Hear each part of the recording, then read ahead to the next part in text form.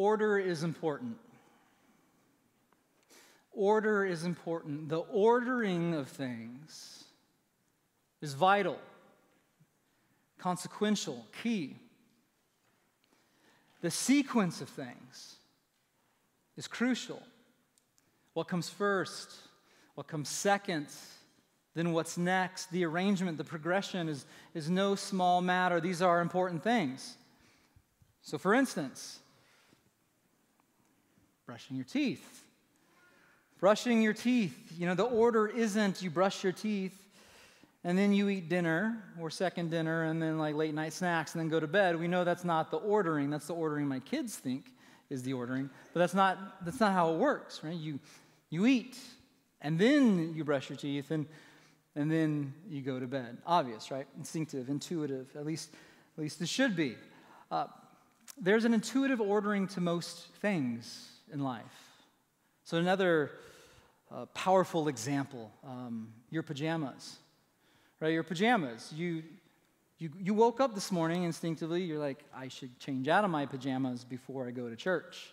Right? That's the ordering. You don't come to church and then change out of your pajamas here at church, right? Silly, silly, inane examples. But I think we could all think of many serious examples about the importance of ordering. I was on a number of planes over the holidays, and there's um, a very important ordering, right? So, safety checks and system checks before you take off, right? That's a good ordering. You don't want to flip those. You don't want to do the takeoff and then the safety or systems checks. Stoplights or um, stop signs. You know, there, there's an ordering to that. You see the sign, you stop, you assess traffic, and then you move forward. You don't want to flip the order of that. It's just simply, simply not wise. Or let's, let's move to some blue collar area here. How about uh, electricity? I have some electricians in the house. Um, when you're replacing a fixture, you generally don't start to take it off the wall and then start to unwire the wire nuts and grab hold of those bare copper wires and then go and then you turn the breaker off, right? That's not the right flow, right, Kenny? That's not how it goes, right? You, you, you don't do that. You flip it, right? You turn the power off and then you do all the other steps. Uh, plumbing, you don't just cut into a live, uh, highly pressurized water pipe. You turn the water off and things will go well for you. Order, sequencing. It's really important. We can think of countless examples, countless examples abound. Marriage and sex, for instance, cosmically ordered, a cosmically ordered sequence. But I get ahead of myself. That's where we're going to go a little bit next week with our text. Order, it's important. So much of the pain and dysfunction in our world comes from a tragic misordering of things.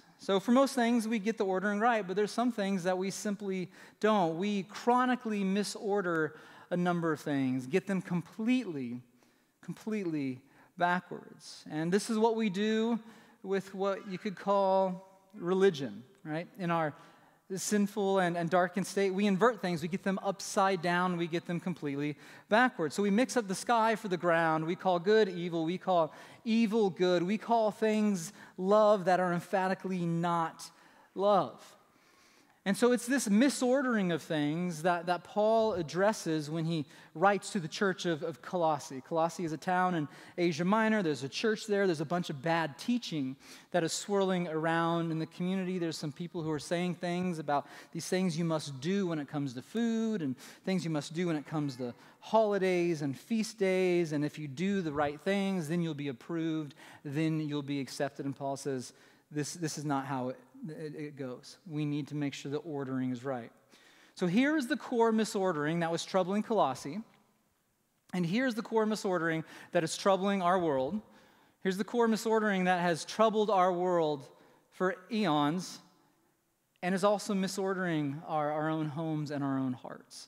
And it's simply this you could, you could phrase it like this or write it like this it's that you do in order to be, that there's doing and then being. Let me explain further. So let's add to that. So you do good in order to then be loved or to be accepted. There is a command, there is the, the law, there is an imperative. Um, we're going to talk about two words imperative and indicative. An imperative means you must do something. You must do something. It's imperative that you follow this command. And then indicative, think of the word like indicates. It, in, indicative means something's done and it indicates what's happened. So, in other words, it's like you must do this in order for this state to come about. You must do these things in order to be now this. And this is a fundamental misordering in our world. In other words, this is how religions work. In general, you do good things, and then you get a good response from the one or the ones that, that save you. So think of the, the old analogy, the stairway to heaven. Religions function by a stairway to heaven. It's rooted on earth, and it goes up to the divine, and you step by step do what is good or do what is acceptable and you, you earn your way into love and acceptance and maybe that's what you've walked into this church thinking is like going to go to church and i'm going to be told the things to do and if i do the right things then i'll be loved and then i'll be accepted and then i'll be a part of the club and i'll be a part of the circle that is emphatically not the gospel this is not the wild good news that we find in the scriptures. See, it's reversed. The stairway is there, but its foundation is in heaven and it comes to earth. God is the one who does the marvelous things. Jesus is the one who walked that stairway, who came down and, and did for us what we could not do. He loved us, and now, it's out of that love that we love others. So it's, it's the flip. It's being leads to doing. It's, it's being loved leads to now and empowers doing good. It's the indicative. Jesus has done these things. These things are done, they're accomplished. This is the good news of what has happened. Now, in light of that, we are called to live this other way. So you can see it's, it's a flip. And the Apostle Paul, who wrote the book of Colossians, is working time and time and time again to help us hearers and readers rightly reorder their world because our the operating system of the soul is flipped upside down and backwards and is just it has this muscle memory. It's like i have to do this in order to be accepted and loved. I have to earn this. And paul says we need to rightly see the world.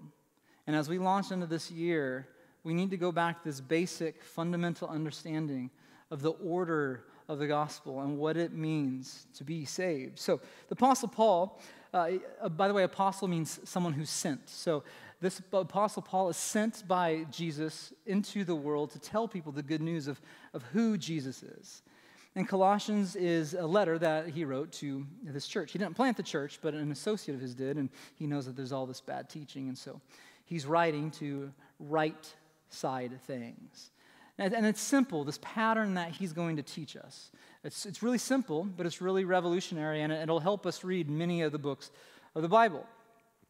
So, in general, here's how Paul's communication works Behold, Jesus.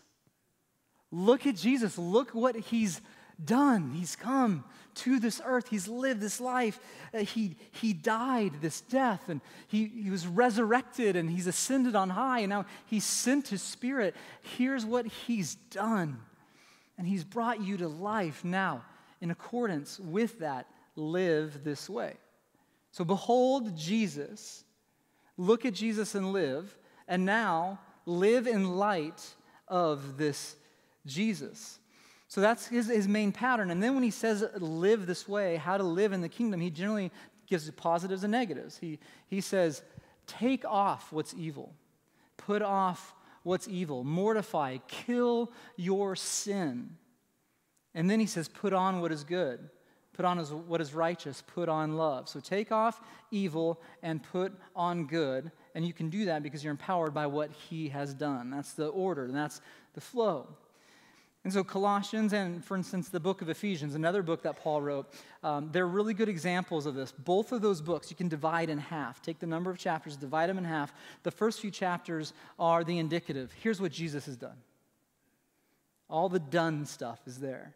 And then the second half is the imperative. Now, in light of what he's done, do these things. Okay? So Colossians is the same. We're going to focus on chapter 3, but let me show you just a brief overview of the book. Chapters 1 and 2 of Colossians focus on what's been done. Here's the good news of who Jesus is and what he's done. And then chapters 3 and 4 shift focus to now what to do. Now, it's not as cleanly separated as that. Paul is constantly reweaving what Jesus has done with our call to live in the kingdom. He's constantly weaving those, but the focuses of, the, of these chapters are as such. So let me show you how this works out in our text today, okay? This is the pivot where we move from the what's been done to what to do now. So, chapter 3, verses 1 through 4. If then you have been raised with Christ, Seek the things that are above where Christ is seated at the right hand of God. Set your minds on things that are above, not on things that are on earth. For you have died, and your life is hidden with Christ in God. When Christ, who is your life, appears, then you also will appear with him in glory. If then, if then, here is the transition from chapter 2 to, to chapter 3 and, and chapter 4 of, of the imperative here. If then. Well, if then what? Well, if all the stuff that he's been talking about in chapter 1 and chapter 2, if all the stuff that Jesus has done is, is real and, and it's true, and he's brought you to life and, and he's breathed his breath and he's, he's, he's washed you with his grace, if those things, well, then walk this way, live this way. So here's what I'd like to do just really briefly. I want to turn to chapter 1, and I'm going to list a, a number of these things that Jesus has done, and then we're going to do the same with chapter 2 in order to understand what's happening in chapter 3. So, chapter 1, verses 15 through 22, he holds up these glowing truths about Jesus, and I'll, we'll just move through these quickly and let, let them make an impression on your head and your heart. Jesus, he is the image of the invisible God, the firstborn of all creation. Jesus is God in the flesh and muscle and bone. Verse 16 For by him all things were created. All things in heaven and on earth, visible and invisible, whether thrones or dominions or rulers or authorities, all things were created through him and for him. What does this mean? Well, it means he's the creator. The Creator has stepped into His creation and, and all things. There, there's not anything that you can think of that hasn't been created, that was ultimately created through Him and ultimately for Him.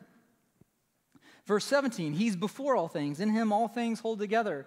He was before all this existed. He didn't just come late in time and, and appear and, and start existing, He always was. And there's this quest in this world to figure out all, you know, the strong force and, and the, the, the weak force and how all the things hold together. He is the one who holds all existence together. Verse 18, he is the head of the body of the church. He is, he is the authority.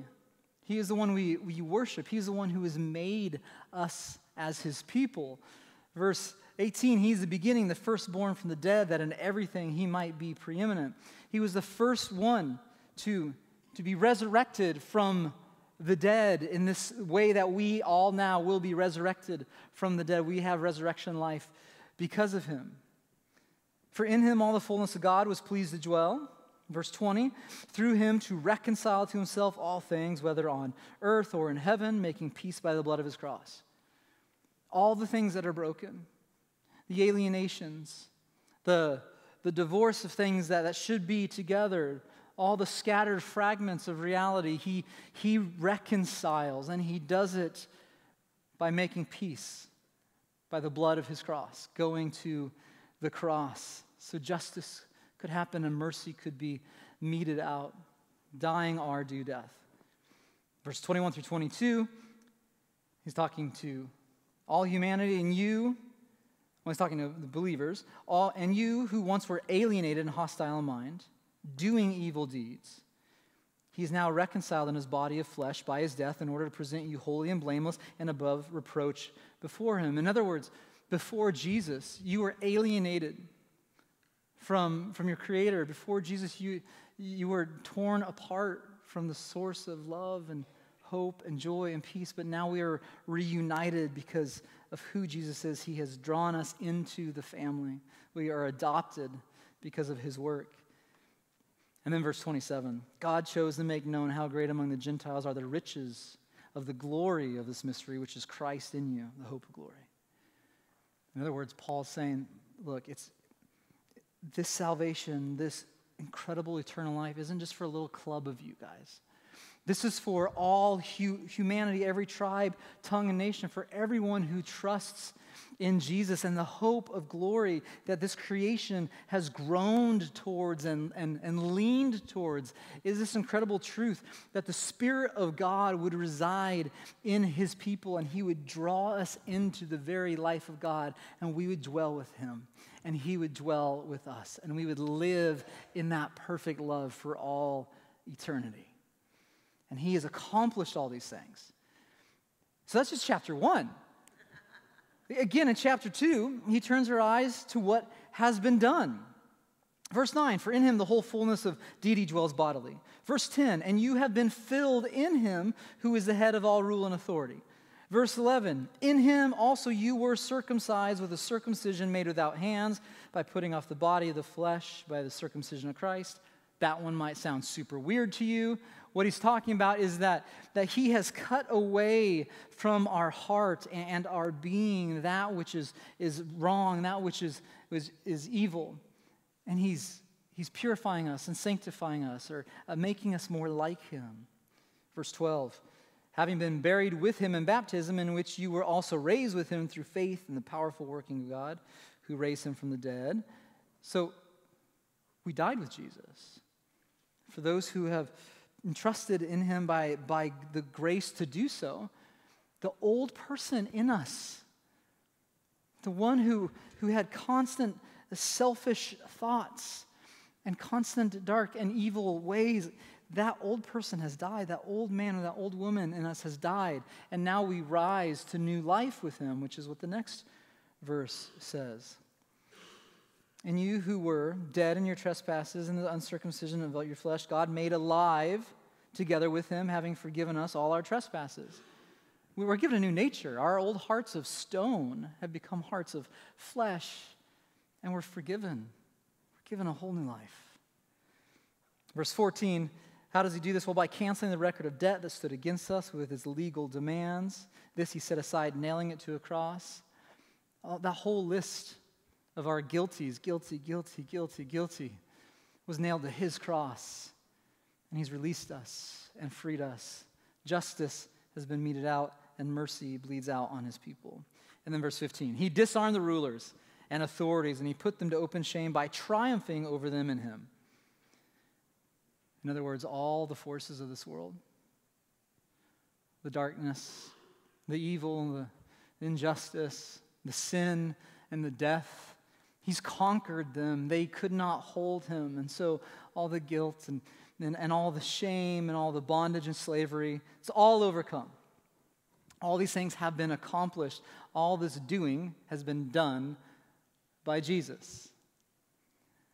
And so those are the first two chapters. And then Paul says this in chapter 3 If then, if then you have been raised with Christ, seek the things that are above so, if these things are the case, my friends, then if God's loving grace has brought you from death to life and darkness to light, and you are restored and you are redeemed, then respond out of, out of love. Live the following way call and response. It's, it's, it's call and response, like, like good jazz or like good blues, right? There's, there's this call and response. God calls us first, He is, is the divine initiator, He calls, and we respond and we live in light of what he's done. So, he's changed our identity. He's given us our, our, identity. We are children of God by his, his grace. And so, this brings me to the topic of identity. Um, so, a word here on identity. I don't think I'm going to have to convince you of this. Our culture is an identity obsessed culture hop on and scroll for two minutes or turn on the news or, or, over or overhear a conversation. Don't like listening, but overhear a conversation at a, at a coffee shop. And you're going to hear this, this obsession with identity. I identify as whatever. I am this. I'm part of this political party. This is my tribe. We are constantly trying to create and curate identities for ourselves. And in this, this pursuit of creating an identity, architecting an identity, we've reduced identity to a, a myriad of things. We've, we've reduced identity to our sexuality. We've reduced identity to a gender. We've reduced identity to a political party, identity politics. We reduce identity to a profession or to our physicality, to our net worth or our cultivated social media presence. We reduce it to these things. So, why? Why do we labor to create identities? Because there's this deeply held belief that if, if we curate a good enough identity, we will be loved and accepted. And this is a, a core operation of the soul to be loved and to be accepted to be truly known and loved and accepted. This is a core operation of the soul. And so, if we cobble together a savvy enough identity, then this group over here with these people will think I'm good enough and they'll, they'll accept me, and I will have justified my meaning on planet Earth. But there's a problem with that, a really big problem. That's not how identity works. Identity is given, it's gifted. And yes, it has to do with community, but the, the primary community that gives us our identity is the Trinity, our triune God who created us.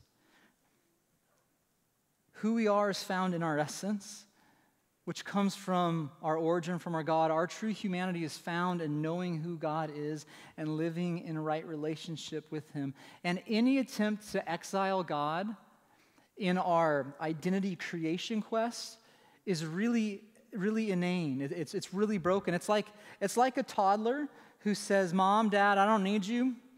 I figured out how to open the refrigerator right? It's like I can open this, I can get what I want when I want it. The problem is that refrigerator wouldn't run if the parents weren't there, and there wouldn't be food in that refrigerator for the toddler to take out if the parents haven't provided that. More so, that child wouldn't exist if the parents' love hadn't brought them into existence. So, as we try to create identities based on the things that we do while exiling our Creator God, all we're going to be doing is, is piecemealing these broken identities together. And none of these identities that we put together, none of these identities that we architect, whether it's, it's CEO or, or athlete or the smart one or, or the pretty one or the, the poet, lover, influencer, whatever, none of these, if it, if it doesn't have in Christ at the very foundation, none of them is strong enough. And none of them is sound enough to bear the weight of your soul because you are an image bearer of the infinite and eternal God. So, first, we need to know who we are by knowing whose we are and knowing that identity that we have become these beloved children of God because of Jesus, then we now fill our mind with the reality and remind ourselves the reality of who we are and how we are to live, to think upon the things that are above. So when you go back to Colossians 3, verses 1 through 2 here, he says, Seek the things that are above, where Christ is seated at the right hand of God. That's, that's a ruling metaphor, a kingly metaphor, at the right hand of God. Set your mind on the things that are above, not on things that are on earth, that are on the earth. In other words, give your attention to Jesus, who rules and who reigns over everything, not simply because we're supposed to, but because that's, that's the very design of, of thought and intention and affection is, is to think upon our King and to live in accordance with his rule and reign. Like, you don't put gasoline in your car because you read the manual and it says put gas in your car. You put the gas in your car because it's designed to function and go off of that fuel. We are to give our attentions to how God has ordered the universe and, and who He is because that's what we're wired for to live in the wonder and the glory and the splendor of who He is. And so we are called to think on these things that are above. So we are to seek these things that are above. Uh, this word here, it's a fun word, zeteo. You can see it up there in the brackets. Uh, this is a present tense word, which means it should be translated keep seeking. Keep on doing this. This is a continual and constant way of being. So orient yourself to reality, calibrate yourself over and over daily to the reality of the kingdom of heaven. He also says, set your minds, phroneo. This is also present tense. In other words, you live in this. This is a constant and continual. And this, this isn't just having a thought. This, is, this word means a pattern of thought or a habit of a mind. This is your mind, your will, and your emotions all bound up in how you um, interface with reality. And, and so I like to think of it as, as how you imagine reality to be. If you think reality, if you imagine reality to be this way, well, then you live in accordance with that. If I do this, then this happens. Here's the reality, so I will live in accordance with it. So, in other words, he's saying, tune your mind to how to live in this world um, as though the kingdom of heaven is ruling and reigning over all of it, because that's the case. Jesus is Lord. Now, quick thing. Um, we can mistranslate this or misunderstand this and go, oh, see? See, we're supposed to think about these things ah, and all this, this earthy stuff. I don't have to really mess with this. That's just for, for earthly people.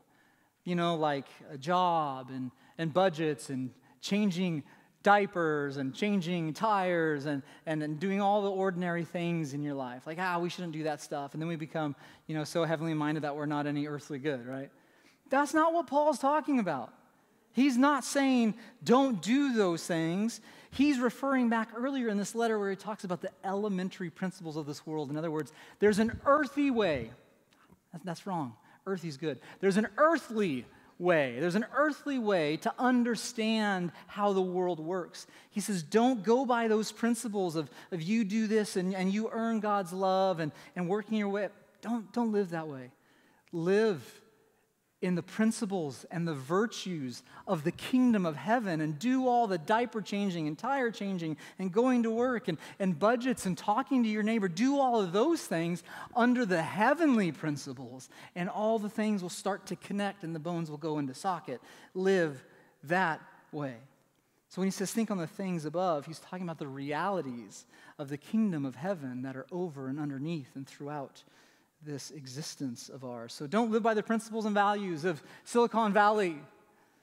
Don't live by the principles and values of radical individualism or consumerism or, or the American dream, but live by the values and principles of the kingdom of heaven. And we're to fill our minds with the truth of the kingdom of heaven.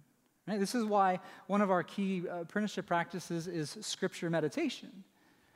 Because we believe scripture is is God's, reveal, God's self revelation. He's revealed himself through Scripture and ultimately through Jesus, and Scripture points us to Jesus. And so we fill our minds and, and our hearts and our being with the truth of who He is and what He's done. And, and this is no secret. It's no secret that what we fill our heads and our hearts with, it affects how we live, right? It affects how we live. So uh, imagine over the holidays you're invited to a holiday party. And because you're, you're really punctual and a little OCD, you get there early. Um, and there's two other people. You don't know them, and you just you start talking with them. Within the first few minutes, it's really easy to tell which one of these people lives in front of a television watching CNN and which one of them lives in front of a television watching Fox News. Or pick BBC, whatever, like pick, pick the channels. Because what they've imbibed, they start to, to leak out. The mantras come out. The way of thinking about the world leaks out. They've been formed, they have been shaped by what they are intaking, by what their attentions and time is attuned to. You've heard us say it, and we're going to say it again and again. We become like what we behold. Another way to say that is we are shaped by what we intake and what we contemplate we are shaped by what we intake and what we contemplate? Are we taking in the broken principles of this world? Or are we taking in the reality of the kingdom of heaven? We have these neuroplastic minds. Our minds have this neuroplasticity, they shift and they change over time. And God has given us wooable hearts. Things try to woo us and change us and transform us. What are we paying attention to? What are we paying attention to? What are we giving our time and attentions to? Are we living in the scriptures? Are we living in the scriptures? And are we then visiting the news feeds?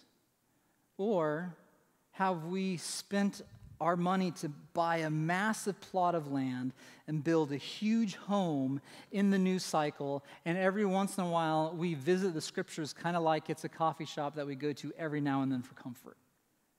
What do we live in and what are we visiting? Because it shapes us, it forms us. And Paul says, Seek the things that are above.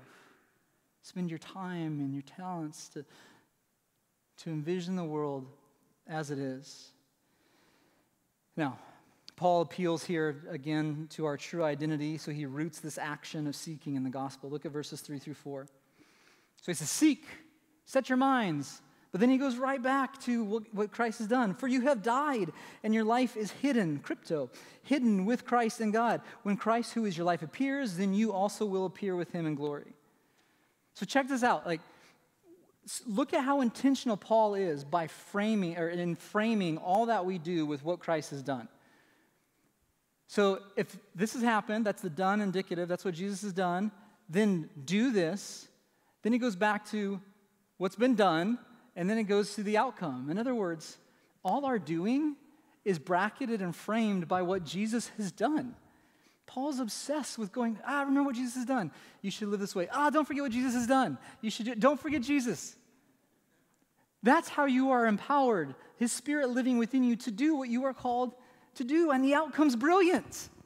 The outcome is so, so good. Because the work of Jesus, the old man or the old woman in us has been crucified, and now we have a new life. And what does that mean? It means we're not locked into old destructive patterns, not locked into selfishness, unable to love others, but the power of sin and death has been broken. So we have a whole new way of life before us. We're not stuck in these elemental forces of the world. The kingdom of heaven rules and reigns. We don't have to do we don't have to earn our salvation, which we could never do. It's given to us, and great effort now comes out of our lives because of the salvation He has given us. So, not only do we recognize that, Paul wants us to live in light of the future. So, here's what he says He says, When Christ, who is your life, appears, then you also will appear with him in glory. What does this mean? This means that we daily do not recognize who we are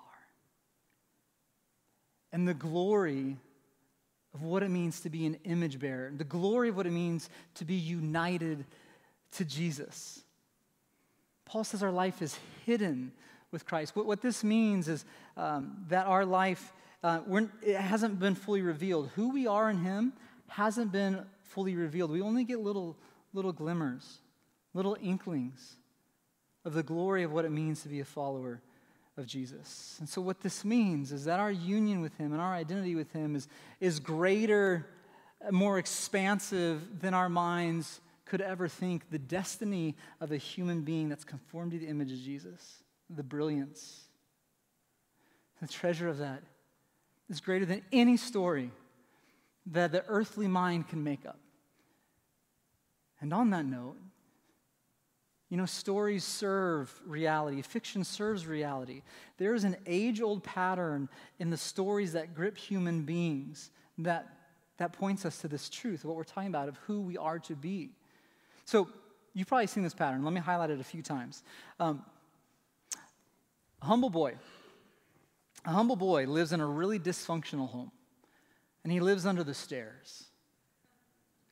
And one day, on a birthday, a messenger comes to him and changes everything And what does he say?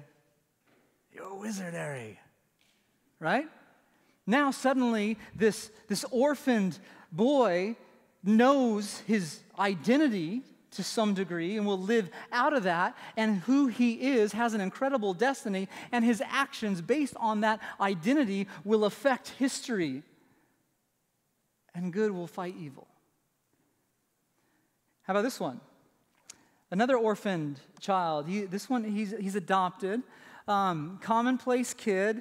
He's a farmhand. He's adopted by some farmers who live on a desert planet that has twin suns.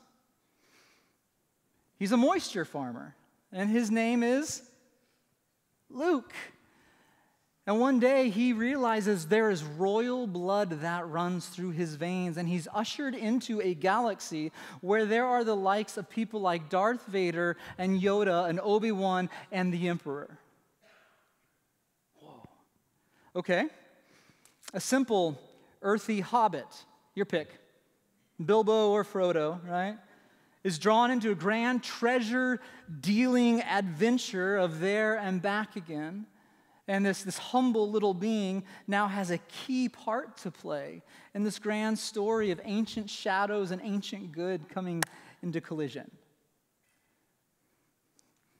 Or how about four children, two boys, two girls, from a World War II um, bombed, torn apart London go out to the country, and they are, are magically drawn in through the wardrobe into a magical world where they find out they are not just refugees from bombs and violence, they are the kings and the queens of Narnia in service to Aslan and in service to the emperor across the sea. Why do these stories ring us like bells? Is it simply because we want everything to be about us and we want to be the hero? I don't think it's that. I think there's something that hums and churns beneath that. And, and it's, it's, it's our hearts that are shaped for eternity, resonating with the fact that as image bearers of God, those who are being conformed to the image of Christ, we will radiate with a splendor because of who Jesus is and what he's done, and it's for his glory and our good and the regardening of all creation. That is the end game of what we are a part of. Paul uses the word crypto, hidden. Uh, crypto doesn't just mean, oh, shoot, where'd my money go? It disappeared, right? Uh, crypto means it's hidden and will be revealed. This is why Paul says in 2 Corinthians, chapter 3, verse 18. He says, And we all, with unveiled face, beholding the glory of the Lord, we are being transformed into the same image, into the likeness of Jesus, from one degree of glory to another, for this comes from the Lord who is the Spirit. We're being shaped and formed into the image of Christ. And this is why he also says in Romans chapter 8, verses 18 through 19, For I consider that the suffering of this present time, the sufferings of this present time are not worth comparing with the glory that is to be revealed in us. For the creation waits with eager longing for the revealing of the sons, the children of God. This world groans to see who you are in Jesus and to have his glory perfectly reflected and revealed in you. So, this is a great commission to live in light of, of who we are becoming because of what Jesus has done to put off evil and to put on good, to shed the darkness and to don the light. And that's what we're going to do the next two weeks. Next week is going to be a little bit heavier. We're going to see how we are called to shed this darkness and this evil and to repent of those things and then to put on the light. And so this year is starting out with us getting a gospel shaped imagination. We need our imagination shaped by the gospel. We need to see that Jesus came to do what we never could do. And we live out of that good news, out of that indicative. He's conquered sin and death. He's united us to himself. And with the Spirit now living with us, within us, we can abide with him, with this holy God. And we're empowered to obey what he says, and we're ultimately going to be changed into his likeness. And this is why we've talked about the apprenticeship paradigm over and over and over again is because as followers of Jesus, we need to know we are united to him by grace and live by grace, abiding with him, obeying him, becoming like him. This is eternal life that begins now. The alternate is sin and death. alienated from God, living a life here of hiding from Him and hiding who we truly are and hiding from each other because of our guilt and, our shame, and then living autonomously, making up our own rules about how creation works, and then living distorted lives rather than lives that image what's good, beautiful, and true. And so we're going to talk a lot about this this year as we come to know what it means to be united to Jesus. And as I close here, I, I want to press in on our ordering of things, on our ordering of things, of being and, and doing, of being loved and doing out of being loved rather than doing and earning in order to be loved. Because I have a, a sneaking suspicion that there's a lot of us that, that live out a, a Christianity that talks about Jesus, that talks about grace, but the, the underlying operating system of our heart is still Heath, you must do these things in order to be accepted, in order to be loved. If you preach well enough, then, then you'll be worth something. If you succeed in what you're doing, then you'll be worth something and you'll be worthy of being loved. And I know these are part of my own fractures, but I, I think you feel them and know them too. Like if I if I can get that 4.2, or if I can just get that that that job that, that pays this much, or if I could just get that home, or if I could just get that whatever, that, that physique, then then I know I'm worth something. If I could just fix all my relationships, then I'll be good enough to, to come to God. It's, it's not how it works. It's not how it works. Why? Why do you strive so hard? Why do you labor so hard restlessly and not able to relax on a weekend because you're always trying to find a new life hack to make, make your life better, to get just a little bit further down the road than somebody? Why is it so hard to live in an unhurried way? Why do you obsess so unhealthily about being healthy and, and your appearance? Why do you pursue that dream of, of importance or being an influencer? Are your New Year resolutions just a refresh on earning salvation? Many of us talk about following Jesus, but we have a misordered way of existence. And so, my parting shot here is what I'm going to ask you to do. Um, turn your mind to the Exodus story. If you, Exodus story. If you don't know that, it's, it's okay. But if you do know the Exodus story, um, close your eyes, think about it. You got Moses, Israel, Egypt, the Pharaoh, the plagues, redemption. Okay, you got it loaded in your heads? The Exodus story. Question, one simple question, and we'll close. What comes first? The split sea or the law at Sinai? What comes first? A gracious liberation from tyranny and slavery or the call to live a certain way as God's people? What comes first, the split sea or Sinai? The split sea. God draws them out, takes them through what should have been their death, brings them to Sinai, and says, Live in light of the grace I've showed you. He has always been a God of grace, always drawn us out of death, and always called us to live as his light bearers in this world. So, my friends, as we start this year, behold again the glory of Jesus. Let the gospel captivate, reshape your imaginations. No, you cannot earn your salvation. He came to save us, He's loved us so that we might love well. So, let us think on the things above, peeling off evil, putting on good. Let us have a gospel shaped imagination and inhabit this world as the citizens of heaven that we are. Ordering is important. May we live gospel ordered lives. Heavenly Father, we love you. We thank you for who you are. We praise you. We worship you. And, and Lord, now we come to this table to confess our need and to be assured by your word and to taste of your grace. So, Father, um, help us to worship you in spirit and in truth in this moment. We love you. Amen.